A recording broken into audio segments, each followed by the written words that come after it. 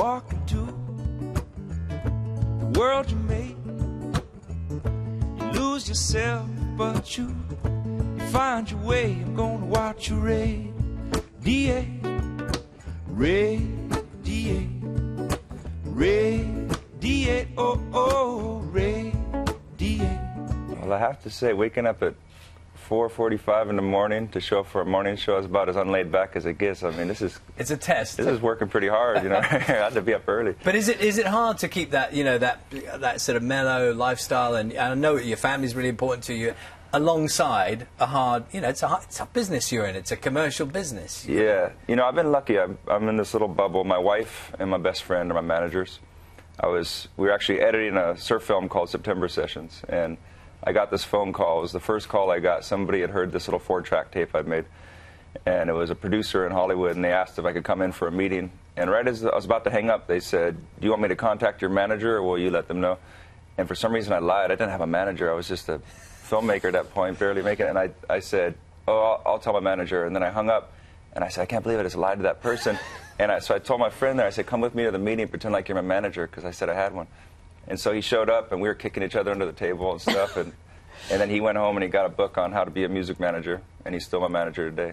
With these rocks, they hold heat. Pools of water cool your feet. As you walk, you believe every part of the dream.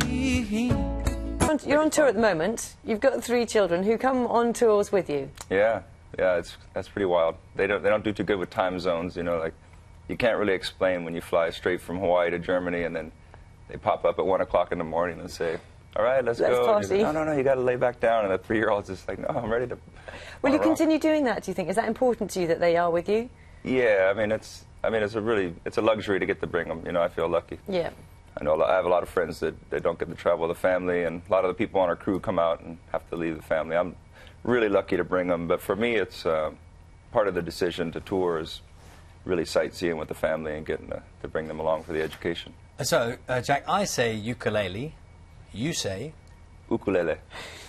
which is the proper way of saying it presumably is it Proper way, yeah, ukulele, it's um, when the Portuguese... Say it again. Ukulele. Ukulele. Only thing it's different is just the U, instead of. U. It's, it's ukulele. It's, it means uh, little jumping flea or bug. It's uku is like a little bug in Hawaiian language, and lele is to jump or dance. So it's the sound of like a dancing flea. And when the Portuguese brought the guitars and the ukuleles to Hawaii, that was the name they gave it. As you walk, you believe every part of the dream.